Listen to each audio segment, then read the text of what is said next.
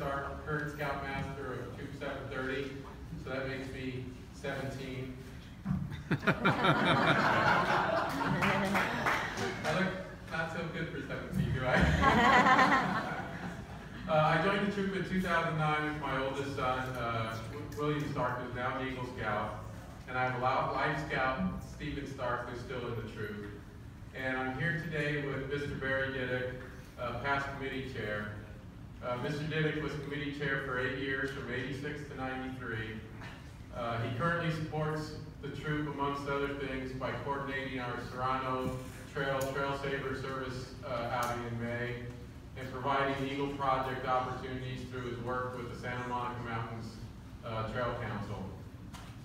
Uh, he also spent many a night at the JLT leadership training, leading the potato game for all the boys.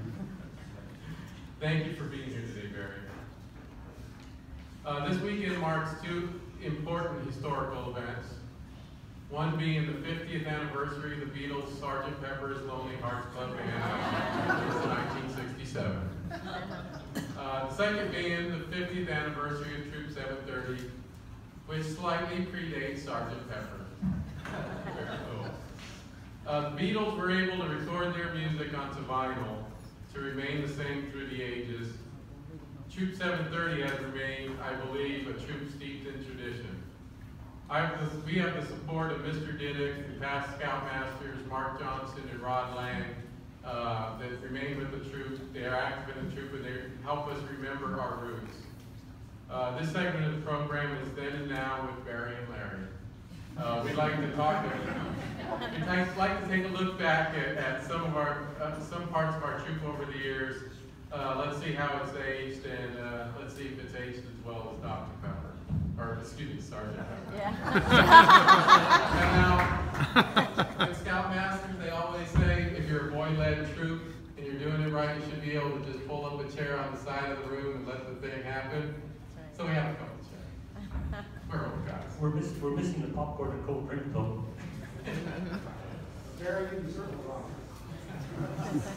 So we have some, some, so we'll, we'll be, uh, going through some questions for each other and, and hopefully it will help the boys understand where the troop's been and help, help you all understand where the troop is today. So, uh, Barry, when did our, when did our current troop banner first grace the skies above Camp Reed? And who created it? Uh, the first troop banner was created around nineteen eighty-five. Uh, Mrs. Dick sold the banner, and I helped put the grommets in the banner. And then Sewed on all the jamboree patches and awards and patrols, and the boys put the jamboree ribbons on the poles. Uh, has the troop been doing well with jamboree, Larry? The troop's been doing pretty good at Camporee. Uh, we've been the largest troop in the district Camporee for, for several years now. And in 2014, our troop had 97 scouts and we had over 50 at Camporee. Uh, during that, you know, during the, there was a period in Camporee where, uh, I guess they weren't very competitive. The other troops were kind of downplaying it. And, uh, they brought the competition back with the decathlons. And, uh, as far as I'm aware, there's an SPL here, Koji, which kind of amped up the spirit of competition. So, uh, this year, for example, we went in with, uh, four patrol, five patrols, I think, and our Tiger Patrol, which is our older boy patrol, won the decathlon event. Uh, our Dragon Slayers won the decathlon for, for, uh, the regular boy patrols. And Tigers also won Spirit Award, so, so as Scoutmaster, I kind of have bragging rights for the year that we won Camporee. So, we, we did really well this year, the boys are really proud of themselves. Uh, have we always been a backpacking troop, Barry? As far back as I can remember, uh, we stressed backpacking. And in the beginning, Mr. Cronin and I and the other committee people uh, attempted to have at least one backpacking outing each month. Uh, is the troop still as active as uh, we were then, or is it getting lazy? Oh, if you saw our schedule, we're not lazy. But we, we, we've diversified a bit. We, we still focus on backpacking. We, uh, as you saw from the slideshow, we do rock climbing and kayaking, there's mountain biking, uh, but we're still primarily backpacking troop. Uh, in fact, this year, we, we just got accepted to, uh, Philmont for twenty eighteen. So we're going, we're going back there again. Uh, we've been to Philmont in 2010, 2012, 2015, and now it's gonna be twenty eighteen, and two thousand And ninety-five. and ninety-five. So we're keeping on the, the tradition. You know, we've done other outings such as Mount Whitney, Yosemite, Tahoe area, so we backpack every year. And with Philmont coming in, we're really gonna put the focus on, on the backpacking for the, uh, the monthly events. Uh, we've had one scout reach a thousand miles backpacking that we know of. He, he's here today, so I'm going to have to embarrass him. Brian Marigold, stand up. Thousand Miles.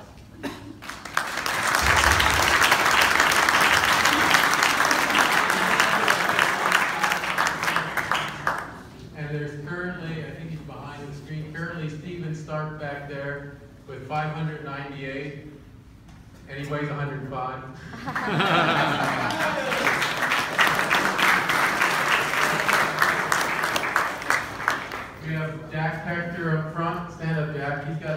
50 nights of camping.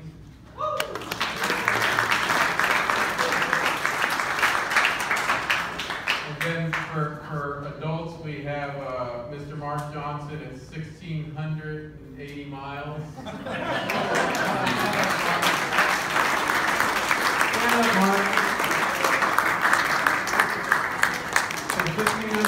miles and 292 nights of camping. So he's out had a lot of bad food.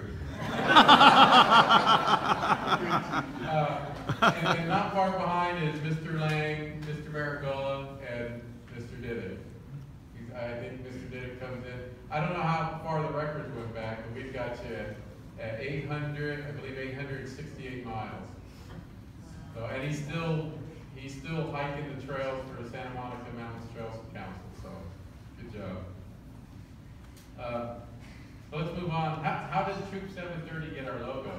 We, we met when, uh, we were on a hike, not the whole troop, just part of the troop up Old Boney, and we slept at Danielson Monument. Uh, while we were there, the, the moon came up and, uh, we took a picture of my older, my younger son silhouetted against the moon and thought, that's a cool picture, and we'll just sort of keep it. But Someone saw the picture and, uh, we suggested, uh, use it as our logo, and I think Mr. Okui's son, uh, who's a graphic artist, kind of tied the picture up and made it into our current logo. Uh, And then, uh, Mr. Kim Bond, uh, who is now in Troop Seven Fifty-three. fifty-three. uh, Brand X. carved uh, neckerchief slides. So he used the, the picture and he carved the first neckerchief slide that most of us have today. And I took a copy of that slide uh, and made plaster of Paris uh, slides with a little hanger hook behind it. And they didn't last very long. They looked kind of yucky when, the, when you banged them because they all turned white. And uh, we proceed now, and I think today we do it with uh, 3D graphics. Three D printer, yeah. Correct. So, it's been around for a while. Um, I've got another question for you. okay, Uh, why is there a moose patrol for adults, and how did we get our name? well, well, on one of the monthly campouts, uh, some of the adults took a look at what the boys were eating, and they were eating very nutritious food. Pop Tarts and top ramen. And, and we thought that's not very conducive to, uh, good backpacking and good camping, so we decided that, uh, we would form a patrol of the adults and, uh, show the boys what camping and cooking out in the wil- wilderness was. And we did that, and, and then we kind of gave them a taste and smell of it, and they said, hmm, that's good. And we challenged them, and they, they had a competition with us to see who could, who could cook the most gourmet meals. And one of the things I remember when we were in East Fork of the Lion, uh, we ended up cooking, uh, portobello mushrooms, uh, on an open fire. and that was the starter. And in order to, in order to keep this tradition, we thought, well, we're gonna have to name our patrol. And on a visit uh, to Canada, I noticed that there was a kind of a different patrol name that they didn't have, and that was the Moose. So I picked up some whole bunch of Canadian moose patches, and we had our Moose Patrol. Uh, how's it going now, Larry? Is it any better? Yeah, it's pretty good. Well, we still have our Pop-Tart challenge. Uh, you know, the, the food kind of goes up and down. The moose food is always great. We always eat well. We always eat well. And if they want to come and wash our dishes, we maybe, you know, help the starving scout out. Uh, but, but, uh, the food goes up and down, so lately, what we've done is the moose has started food challenges. So on an outing, we'll, uh, decide that, hey, one night we'll have Italian theme, and the patrols pick out, you know, get a menu together and try to, to cook something Italian, and, or we'll do, uh, you know, eggs, breakfast with eggs theme, and, and they'll tackle that, so, so it's, uh, we're working on it, they've gotten a, since, since we, since we started the Moose Challenges, the food's gotten a lot better on the scout side. And, uh, we go around and judge it, and it's, they, they let us eat it, and we actually do eat it, so it's, it's pretty good. It's edible. Speaking of eating food, you still uh, hike up the Mount um, Pinos and uh, Sheep Camp like, uh, like one of my favorite hikes we used to do?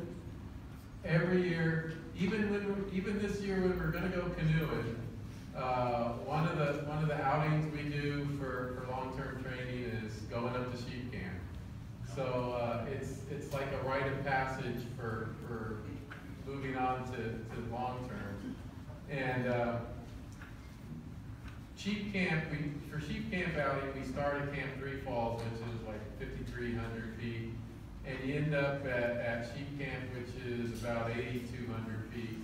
And that's, so it's almost three thousand feet of climbing. And you really don't do a lot of climbing till last mile. So- So it is, it is really a rite of passage, and, uh, we continue that on today. It, it is a long-term staple for us. Um, and it's, it, Sheep Camp is also unique, because, uh, it's the only place we know of in Southern California where, uh, you can find watermelon above eight thousand feet. It, it is just incredible. So I have a question for Barry that, that's been on our minds, which is, uh, when was the first watermelon found at Sheep Camp? Well, I think it was on one of the first hikes that I made up to, up, up there, but, uh, I didn't get to go the hard way, I got to go the easy way. Some of the boys couldn't make it, uh, later in the day, so I brought, uh, several boys up, and we went up to Pinos, we went up the back way to Pinos, and we walked in from Pinos to Sheep Camp. Uh, and on the way, uh, just before we got to sheep camp, uh, I noticed there was a nice little meadow, uh, just above the highest campsite at sheep camp. So we went exploring and, and we found some interesting things up there. And then at supper time, uh, we suggested a couple of the boys, go take a look up, up there where you see all the green. And, uh, a young man by the name of Scott Mast first person to find a watermelon up top of sheep. I don't know how they got there, but they're still coming. Amazing. Uh, now, now, you used to do, uh, some wilderness survival outings. What was special about your wilderness survival outing? Well, Mr. Crone, uh, kind of talked us into this one, and, uh, we sort of said on the wilderness survival outings, uh, much like they do now in Santa Cruz, uh, you weren't allowed to bring tents and you had to build your own shelters. So, when the boys were building their shelters, uh, a couple of the senior patrol boys would set up a compass course. And, uh, after they built their shelters, uh, the boys had to go do the compass course, uh, because at the end of the compass course was their food. And if they didn't do the compass course right, they went hungry that night. That's good. And then, um, they also had to cook their uh, and you could do it a lot of the times, uh, out there, uh, without pots and pans. So there was a lot of hobo stew type cooking. Uh, They did pretty good most of the time. Gary, you wanna talk about some of the food you provided? uh, I don't remember what food, do you? Well, I know you were always good about interesting gourds and potatoes and vegetables that you would normally not see. But I, I remember vividly when you walked around that one time with a s- snake skin around your neck. Yeah, oh, okay, I remember that story. Um, And I think what we did was we, uh, had some turkey necks that I picked up. And, uh, they were about, you know, so long and, uh, this was at East Fork of the Lion and we had this thing. And the boys did- didn't know quite what it was and I wouldn't tell them, it was the mystery meat.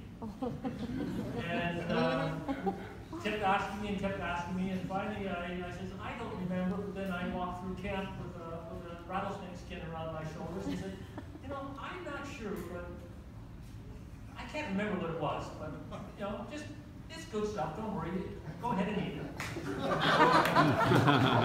And they thought it was rattlesnake. I forgot about that. Uh, Barry, what was the seven thirty's tradition with the Order of the Arrow Honor Society? Well, uh, we were quite active. We had uh, two ceremony teams from this troop. Uh, used to practice in my garage a lot of the times. And uh, I think Dylan and Kurt remember all, all that kind of fun stuff that we did. And uh, we went to NOAC and competed at NOAC and did quite well in our, in our ceremony competition team. But I had a little bit of help in that uh, Mrs. Diddick uh, must have sewn about fifteen of the uh, tops and the bottoms for the boys, sewed on the sides, and the boys decorated their own. And uh, we did a lot of our own uh, regalia making. I think my younger son made a, I think we still have it, Ben, don't we, the blue, the blue headdress? And uh, a couple of the headdresses that the boys used, we made. So we had a lot of fun building our own, our own regalia, much like we were told before. Is the troop still involved, Larry, in the OA? Is it as busy as, as I was, three nights a week? Well, I don't, I don't know if Brian does three nights a week. But we do have the, the district, uh, OA chief, Brian, lead us in the troop. And, uh, past scoutmaster Casey McVeigh is also, uh, the advisor for the OA, for, for this district. And, uh, the district, it, it, it's not as, it, it hasn't been as, as busy as when you were in your day. But, uh, Mr. McVeigh and, and Ryan are really trying to rebuild that OA, uh, in this area. They've been trying hard, and our troops really trying hard to support them. Uh, this year, I believe we had seventeen nominated for an ordeal, called out for an ordeal. So we're trying to do our part to bring OA back into the Conejo Valley and make it strong again. Uh, Barry, what were some of the fundraisers troop used to do? I remember, uh, we did, uh, hot dog sale in front of Old Albertson's for Trader Joe's. We set up a booth and sell hot dogs. Uh, Conejo Valley Days, we sold meatball sandwiches for several years. We had a booth doing it there. And I think Mr. Crone or some of his friends, uh, from one, one two, we got into the air show and we cooked hamburgers. Never wanna do that again. It's not like a burger for a week. Uh, we sold one pound packages of nuts that- from Sovis Nut House, and the adults used to get together and buy in bulk and, uh, bag them ourselves. We had to really be careful because an ounce each bag, and there goes our profit.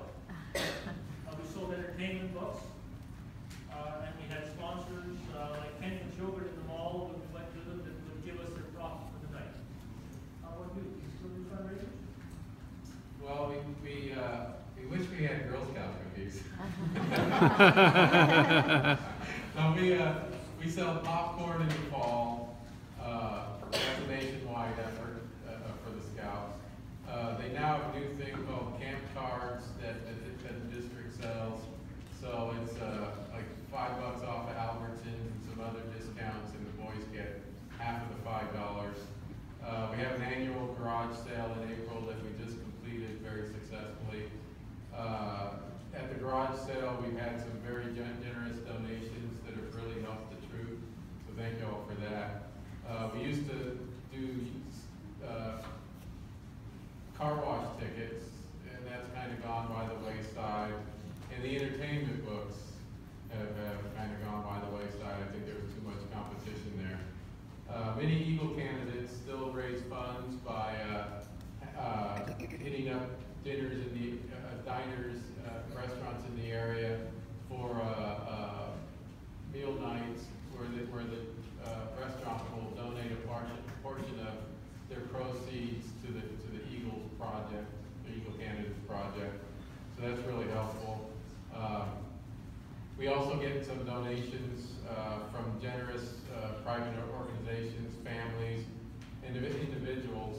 And, uh, these, these donations have really helped some of our scouts, uh, make it to summer camp and some of the more expensive long-term outings. So, uh, the fundraisers have changed, but, but we're still able to, to help the scouts and help the scouts help themselves. Uh, there was an interesting story of heroism in uh, Boys' Life about a rescue attempt on Mount Baden Powell. Can you tell us a little about that incident? Uh, yeah, I think that was around nineteen eighty-six now, was it? Uh, we were doing one of our monthly outings on Baden Powell, we did it a little bit early in the year, and it had been a year that had a lot of snow. So, uh, as we worked our way up Ba- Mount Baden Powell, it got, uh, slipperier and, and, and so on. Uh, and about a third of the way up, uh, we heard an awful series of screams, uh, from off, off to our, I think, up, up ahead of us. And then when we looked up, we saw a body tumbling down the side of the mountain, uh, screaming and screaming. Uh, So we stopped and decided, what should we do? So the boys stayed, stood still, and, uh, Mr. Crone, my older son, Kevin, and Tom McCaffrey went towards the boy to see if they could, the, the person, to see if they could help him at all. And myself, Mr. Marino, and my younger son followed them and then went down back to the car, uh, to go to the ranger station and call a ranger. Uh, we made it to the ranger station, and they, the ranger came up and they sent a helicopter, uh, to, to rescue the boy. Uh, and, uh, a young man by the name of Chris Smolin. Uh, they took him to the hospital, but he, uh, passed the next day.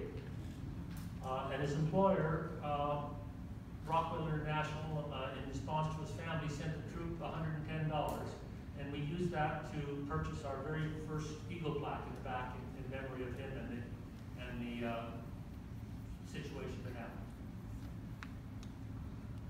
And, oh, six, six members of the troop, uh, as you'll see in your highlights, received, uh, uh, awards from the Boy Scouts for, for their efforts.